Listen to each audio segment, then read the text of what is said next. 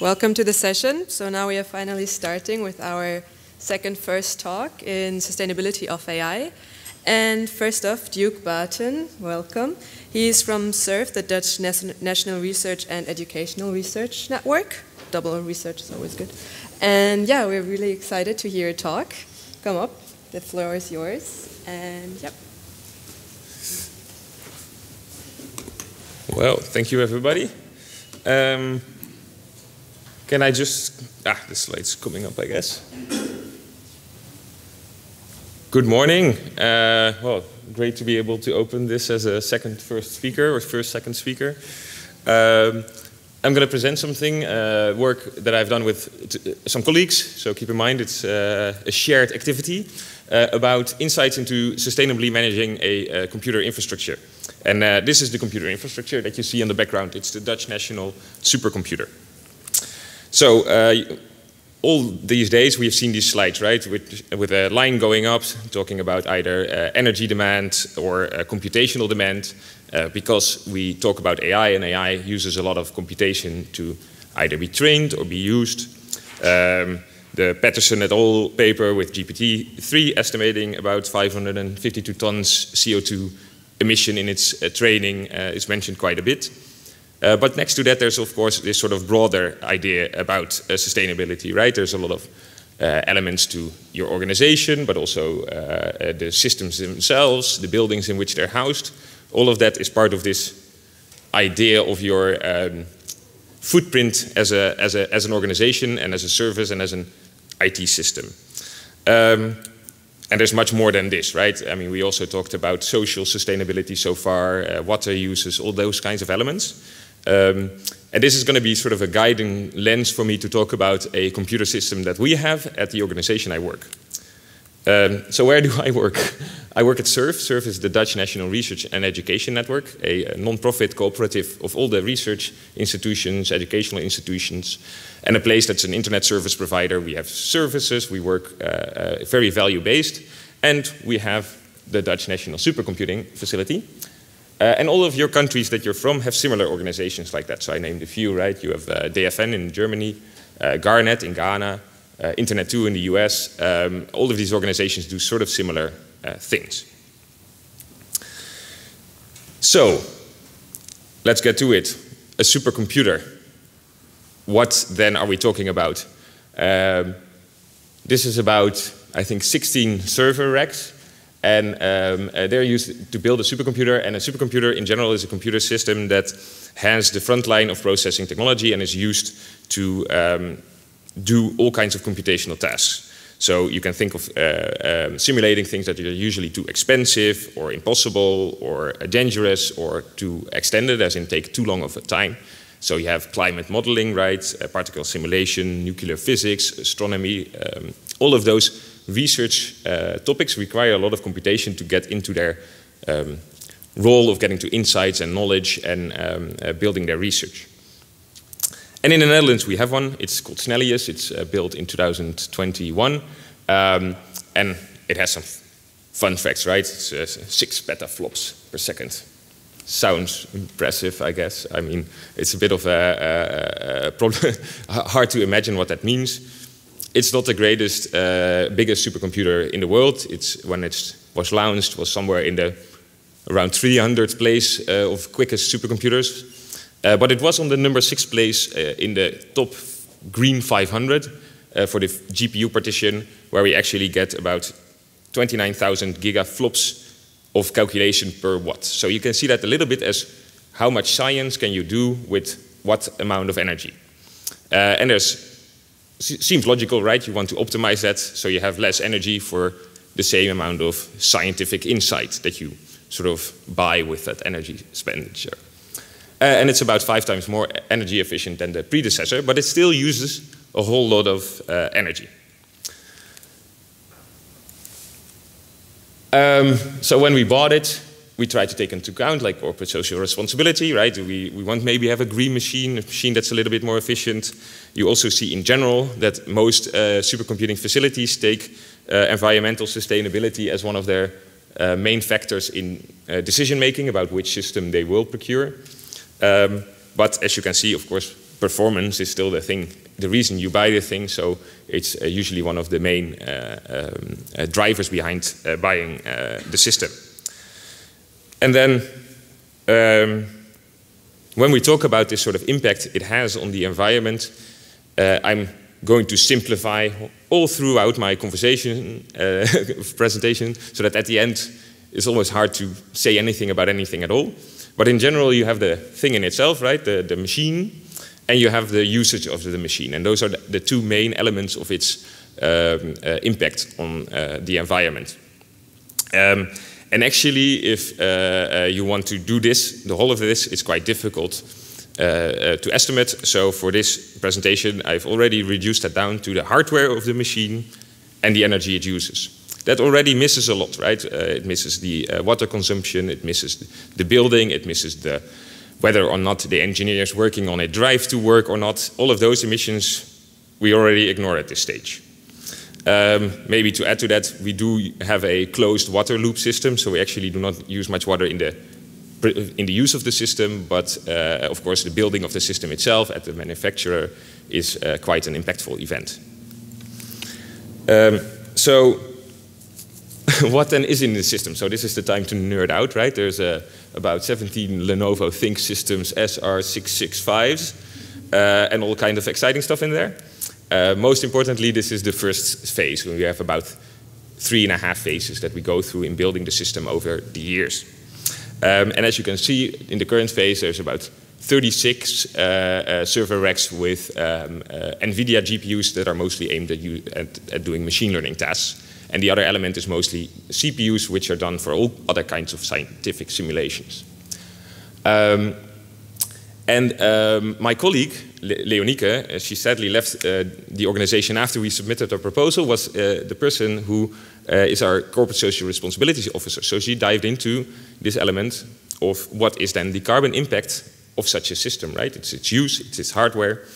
Um, so she uh, did a whole project together with a, uh, a consult consulting firm trying to figure out, okay, if we have all these systems, can we estimate the carbon impact of building um, that hardware system? And her estimation came to about uh, uh, 40,000 uh, yeah, 40, ton CO2 equivalent. So that's quite a bit, right? That's a lot further diving into that, and all of that is based on these uh, calculation sheets by the um, suppliers. So the suppliers also provide this based on an algorithm developed by MIT that they use to estimate what they're actually their impact is in building these things. So it's not a measurement, it's not something that is tangible. All of it is already based on a sort of modeling of the real world. Uh, so I dove into it a bit, which lead, led me to for, oh yeah, so this is the product sheet. So you see already here they say 18,000 plus minus about 6,000, right? So it's also on their side quite uh, an unclear uh, estimation. Uh, and also, uh, I figured out we made some mistakes in our own analysis. So for this pre presentation, we're going to be conservative and we're going to double it, just to, you know, be sure that we don't miss anything important. Uh, and we are definitely on the, you know, high side, probably. So that's about 8,000 ton CO2 equivalent. That's, that's a whole lot of uh, emissions. Uh, and like I said, that number is certainly wrong. But uh, for the sake of conversation, we'll use it today. Um, and that's one part of it. The other part is the actual energy use of the system, right? So we have a system that uses energy every day. The average monthly use over the first phase, so that's about a year, A1, the 1A phase was about 305 uh, milliwatt hours, megawatt hours uh, every month. And the average Dutch household uses about 2.81 in a year. So you can see how many households, that's, that's a lot it's a lot of energy that's just going into this one system. And there's one, only one floor in a whole data center, right? So that this whole data center uses even more energy. Um, and then interestingly enough, uh, and that's also been a driver behind the machine learning uh, growth, right, is that you can see whereas uh, our GPU partition has the most theoretical performance, it actually uses the least energy. So it's about five times more energy efficient to calculate something with a GPU as opposed to the CPU. So there is some interesting stuff in there, right? So that means that there's a value in building your system out of GPUs instead of CPUs.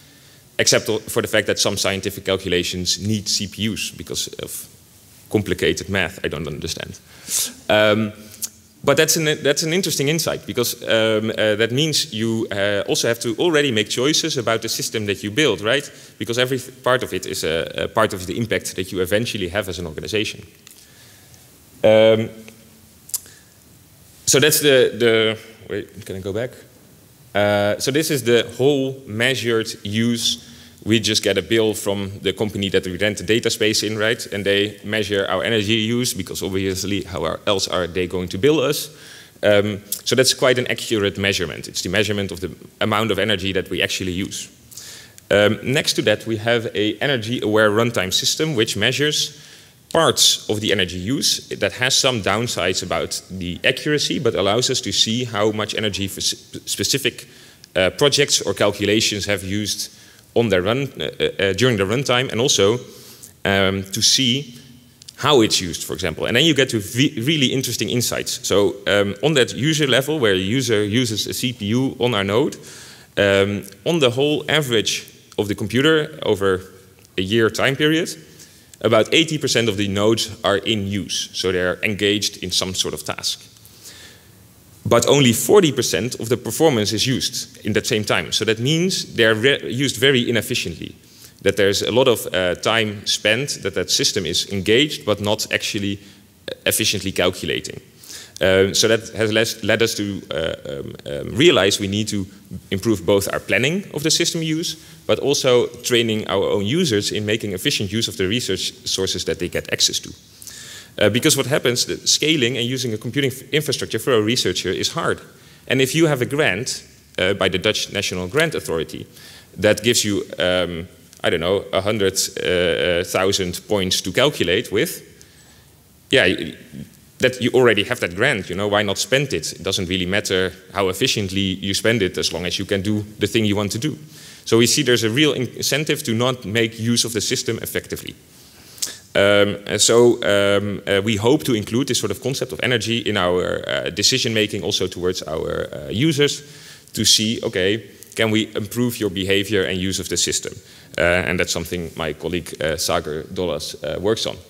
I added two links for who's interested. So if you're more on the technical side, we have a hybrid energy efficiency computing workshop that you can join. It's free, so just putting that out there. um, so that's the other element of this, right? It's both sides of the equation, the use of the system and the system in itself. Um, so my question was, at some point with my colleagues, at what point does energy matter more than the hardware, right? Because we have the system that has a certain expenditure, and a new system can apparently be more efficient than the previous system, in our case, more than five times. So you get more uh, science per watt, so that seems like a very environmentally friendly choice, right? Build a new system because then we use less energy and, less energy is less impact. But there was an inclination, okay, but the system itself also costs a lot of uh, uh, um, um, um, impact. So how do those two compare? So what we did is um, um, we compared the energy sources.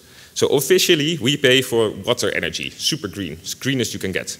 But in the Netherlands, there is no water energy, right? So we probably, uh, our um, uh, data center uh, uh provisioner has some sort of construction with these um, uh, certificates and all of that.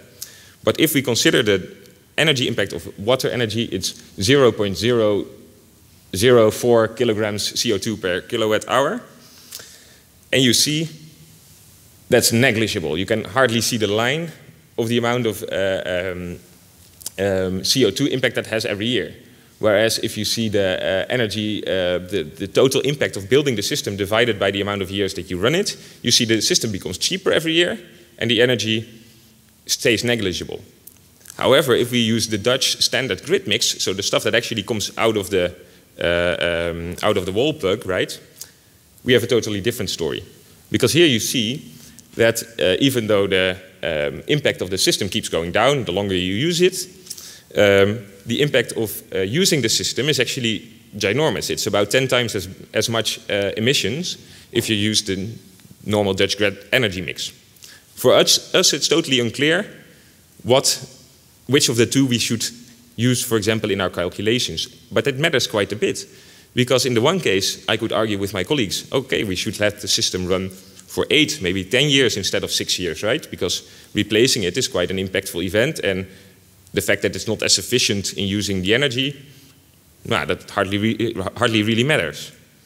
However, if you use the standard Dutch grid mix, the energy that it uses every year keeps compiling, keeps compiling, keeps compiling. So at some point, it totally makes sense to replace the whole system. Of course, all of this is negating the need for peak performance and all of that, but it shows a difficult choice that you have to make when you try to do stuff more sustainable.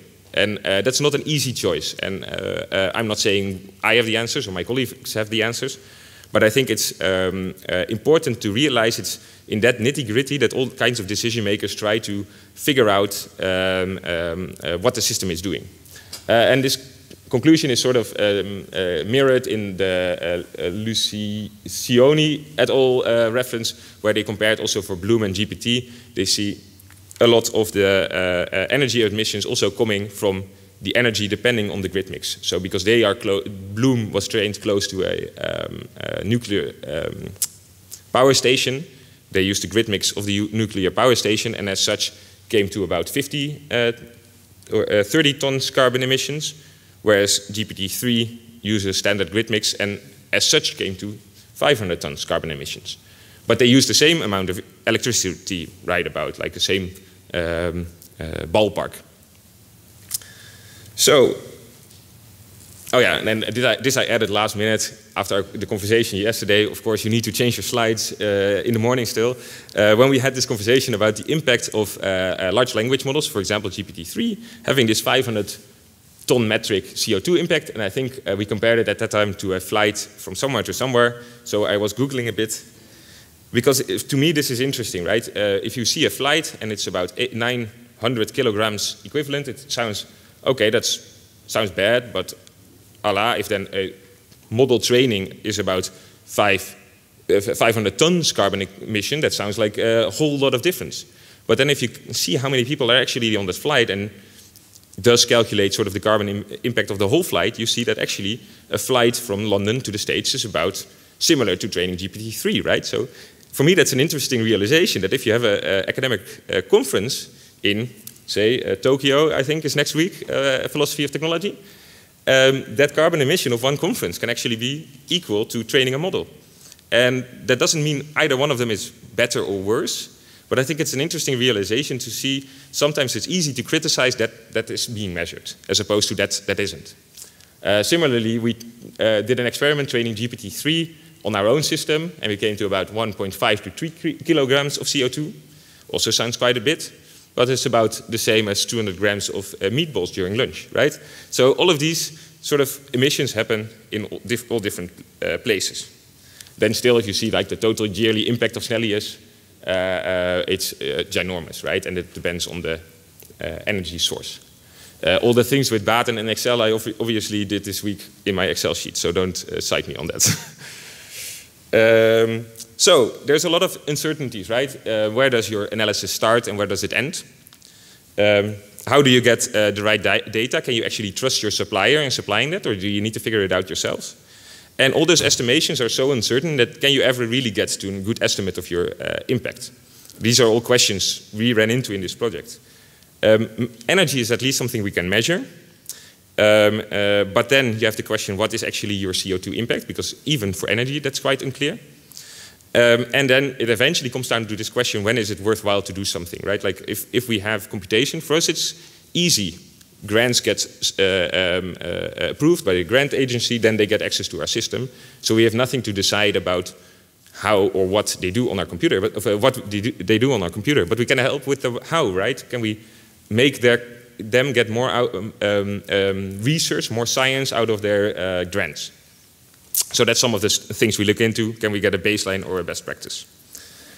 Um, Lastly, really shortly, for us this comes up as a, as a value conflict. In the Netherlands, all the universities have come together to say, okay, we want to have a more autonomous and sovereign sector. Um, so we want to maybe build, uh, based on public values, a large language model for Dutch. And then you get this uh, uh, balance in between. Do you want to have a large language model because you you, you drive this sort of this uh, autonomy and sovereignty. You want to get your hands on this technology and be part of the development, as opposed to the enormous impact building that thing is going to have. I don't think we have the answers to that, but it is the reality of trying to make these decisions, right, where you do not have the clear answers uh, uh, right away. Um,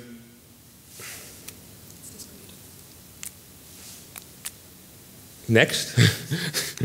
uh, so the last insight, it's not easy being green. Uh, what you measure is often what you optimize, uh, and that's not often, not always what you want to optimize. And uh, um, uh, then all of that uh, relates to a more complex system of values. then one more next, and then I'm, I'm done. One more next. Yes, you can download, oh, it's got off. Hmm. You could download the slides um, uh, or reach out to me. There's a lot of questions still. Uh, I'm looking forward to the conversation. Perfect. Uh, thank you for.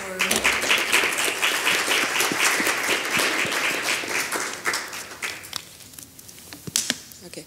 Perfect. Thank you for being so on time and for this interesting talk. Um, yeah, so are there any questions? Also for the Zoom audience, you can use the Q&A tool and we'll read all of your questions. Um, are there any from the audience so far? Yes, over there. Just uh, please wait till the microphone is uh, with you. Thank you, so the Zoom audience can follow. Um, yeah, so thank you for the, the talk. Um, when talking about the energy con consumption, you basically had those two, two sides of the picture. The one where everything would be green ener energy, and the other one is where you just take the energy out of the plug and you get whatever you're um, get, getting provided. Is there nothing like in, be, be, in between you can use? Like for example, um, the uh, com computer is not critical infrastructure, so it would be uh, sufficient to have it run at times where uh, there is enough green energy to, to spare, and then you can basically operate on those low costs, maybe on um, yeah, paying the price that you can't run it 24/7, but maybe just run it when the uh, sun is shining or when the wind is, is blowing, and you have then basically 100% green ener energy, right? Uh, super interesting uh, thought. I think uh, in in general, indeed that's the issue also with these certificates, right? So in this case, we had water energy, which we obviously do not have in the Netherlands, but wind energy we do, and sun energy as well. So that could be quite an interesting uh, uh, question uh, uh for us to look into to see can we um, uh, modulate our uh, system use based on the energy availability. Um, I'm not sure if our data center currently supports that, but that's definitely a, an avenue of investigation. And I think interestingly enough, you see these sort of in this, uh, this, this discussion around energy impact that they usually now have as a best practice that you use the grid mix uh, uh, numbers if you cannot prove that you actually get the energy from that particular uh, station. Uh, so that's why, for example, the, the French national supercomputer, which is next to a uh, nuclear central, they have a really good case to show that their impact is what it is because they have a line coming from the center to their computer, so it's there is no uh, um, uh, grid mix. Uh, but for us, it's complicated. So um, yeah, I'm actually quite curious. I'll, I'll, dive into that a bit because, and yeah, yeah, yeah. Thank you. Thank you. So Amy is next. Yeah. Thank you, Duuk. Um, really fascinating. I mean, I'm blah, I have so many questions. Um, so I love, of course, I can understand why why Surf is able to do this because you know they're not bound by IP and they're not um, worried about the public opinion of the organization because it's not a private entity and whatnot. Do you see um, interest from private companies to to follow what you're doing, to do the same kind of things that you're doing? And then my second question is. Um, what would like how, how do you start? How do you start making these decisions? So you've presented you know the problems and whatnot and then um, is it up to you or do you have to go to your bosses to say like this is what we're yeah. going to have to do? What, now yeah. what? Yeah so i think for the first question what is actually quite interesting is if you would compare surf to large like uh, the googles of the world right? In general they have this stuff sort of better figured out than us, but can not be as transparent, right? Because they yeah, they will just mark, share marketing numbers, right? The best possible scenario. Uh, I think a big problem, uh, a big difference is that um, we have one system that's built for a very narrow purpose, and uh, now you see the growth of just these server farms for all loads of stuff, right? And that allows uh, it, the waters to be even murky, murkier. So I've heard this story about maybe ChatGPT being trained on, uh, uh, you know, all these Azure services in that 50% of the time that they're maybe utilized but not used, right? So then the question of what is their impact is actually even more complicated because it's using systems that are just idling along. Um, so it's hard to compete with that efficiency that they have coming from that scale. So I think it's also really important for us to realize that we can have an open conversation about this. And I'm, i would also be very interested in collaborating on that with researchers here, like figuring this stuff out. And at the other hand, also realize it's not, it's not an equal playing ground. Not every organization can do as well as every other one because of this, these scaling effects. Um, uh, for us, what's I think next is uh, uh to continue this conversation. We're, we're hopefully getting a new uh, uh, corporate sustainability officer soon, who can also drive this from a sort of policy side within our organization. And um, I think one serious conversation that we need to have is about that element of these broader impacts, because currently we're completely focused on the energy and the incentives are there. I mean, our energy bill is probably 100,000 euros a month at least. So if you can get that 20% down, that's a lot of public money that gets saved and can be used to something else. Um, so the next steps are definitely uh, uh, getting that conversation going and in a way that is uh, also constructive to the goal that we try to achieve with the system. So um, uh, it doesn't help us to be um, um uh, for me to wag my fingers towards my colleagues, we need to look at it together and see, okay, how can we get to a future where we still have computational uh, abilities, we still can have researchers research climate, but do it in the best possible way. And one last question, real quick, and then, yeah. Yeah, thank you for the talk. Um, the um, Uh, thank you for pointing out the workshop, first of all. I'm going to forward that to a couple of people because I think the whole um, question of how do we utilize a system when there's multiple users, multiple research groups who don't necessarily are trained in efficiency uh, of their code or parallelization and so on and so on and so on is really um, a big one. Um, but uh, my question to you is uh, another one that on your slides you estimated, or at least the graph showed a 10-year life cycle of the system yeah. Uh, how long was the previous one running? And for example, if you say that the current generation of GPUs was five times more efficient energy-wise for the same computation that you could do on that, uh, we're seeing lots of new, like your A100 is going to be replaced by H100s and the next generation and the next generation. So what do you internally think, when is the right moment to switch currently, or what's your policy on that? When do you go to the next generation of systems? Yeah, so, so this system is planned for uh, six years and it has a couple of phases exactly also to help a bit with that element, right? So that we have one phase now, this is the one we talked about, we already built in November uh, phase 1B that I didn't include because it would make my life more complicated. Um, and then uh, phase 2 comes, phase 3 comes to also be able to be a little bit flexible and also for us to see uh, whether that demand for GPU grows, because traditionally supercomputing has always been CPU, uh, and that demand is growing, so we're getting more GPUs. Um, um, and then after six years, there's supposed to be a new one. So that's relatively uh, not a very long time, right? It, it, feels quite short. In the past, we have had systems that we had longer. So the previous Snellius system was 2013 till 2021 or 20, something like that. So it's about seven, eight years. And uh, the system before that, Huygens, we uh, even had to extend maintenance contracts with our suppliers because they, uh, and that's one of the issues, they stopped supporting the hardware, right? So you do not get any security updates anymore. And for us, dealing with all this kind of data, right, which might also be medical data for research projects, it's super important that we have uh, secure, yeah, good security of this system. Um, so we get to the case where you actually either have to uh, um, have extra maintenance contracts to keep it supported, or um, uh, accept that you do not have up-to-date software, which is for us unacceptable. So there's this policy element as well, where um, um, these uh, uh, hardware suppliers, if they do not support the hardware for long enough, it actually is a reason for us to uh, uh revise the system. Next to the fact that, of course, I mean, the computational needs grow and we also have a role to play in the marketplace, right? So we cannot decide to never update our system because then researchers are going to use AWS or Azure and then we lose every bit of public, you know, computational uh, uh property that we have. So it's a, yeah, it's really a balancing of those values. Uh, I hope that answers your questions a little bit, but uh, yeah. Yeah, so once again, limited by capitalism. And one um, one last question from Benedetta. Hi. I guess she wants Hi. to react to yours. yeah, no, thank you, thank you very much. These are exactly the kind of projects that we need, and we need to really get uh, connected globally and try to have more and more types of case studies like this. Like one other thing that I wanted to ask you, well, I have many questions, obviously, and we can take them later. Yeah.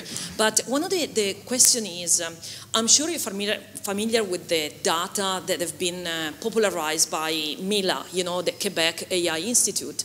And uh, actually, like they, they speak about eight tons of carbon emission for each GP, um, ChatGPT model. Oh right. right. Oh yeah, yeah, yeah. Right, and it's yeah. uh, it's different. It's 8,000 kilograms, right? Yeah. So I wonder if you have an idea of why you know their calculations are so different, and if you are thinking of developing a similar tool like the very highly you know successful tool that they it's open source, it's available to, to everybody, which is an ML calculator of carbon emission.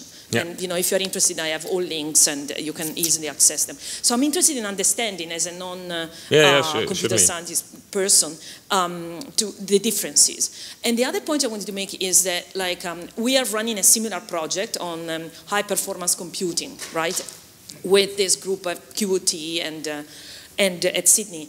And uh, one of the problems we have is also calculating where um, the server providers are is highly impacting also on the overall um, uh, computational data that we achieve.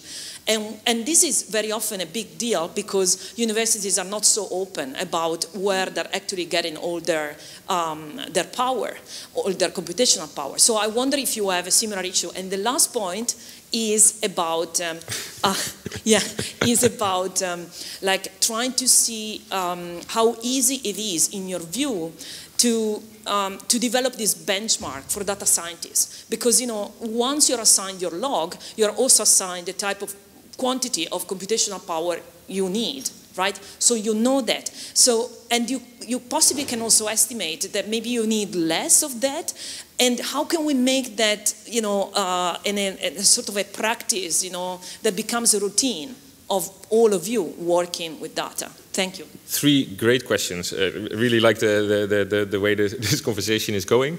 I, I, I really I tried to convince some of my technical colleagues to join the conference as well, but all, yeah, in general they are not very fond of traveling for work, so you know, sadly they are not here. But I hope to bring them next year maybe. But uh, uh, so the first question, about calculating these emissions, right? We have this uh, energy-aware runtime system that we co-develop with, I think, a university in Barcelona, but I don't know by heart, which is a system specifically aimed at, for our sort of HPC, uh, high-performance computing applications to measure this. And that's, I think, part one, that we can measure it uh, uh because then we can uh, um, uh, better estimate it and better guide it. Then I think the second question, now, I think of the third question, I forgot the second one. But the third question being more like, okay, what then can we do with that, right? How can we help? Uh, I think one element is that we are growing this consciousness that we have a responsibility there. So our own machine learning engineers that support scientists they actually get annoyed with scientists, right? Because they haven't prepared their stuff well. They uh, uh, hog uh, a machine for like a whole day without really doing something useful. So we, we start at least getting that feeling, right? That's the first beginning, right? A little bit of annoyance. And we hope to get a to a place where we can do it in policy. And our current holy grail on the short term would be that we have the uh, requirement from the funding agency, NWO, that if they use our system, I would love that they uh, would have to have a declaration of energy use. So that if they have a publication, yes, yeah, it says a small footnote. This used this amount it's of a label. watts. It's the idea of a green label or certificate. Yeah. yeah. Yeah. So exactly. So that's the, yeah. Oh yeah. I'm very sorry. And the other one will do. Uh, maybe you can discuss during lunch more. Yeah. It sounds like you have a lot of, to talk about. So um, thank you, Duuk. This was an amazing presentation. Thank you very much. So, thank you.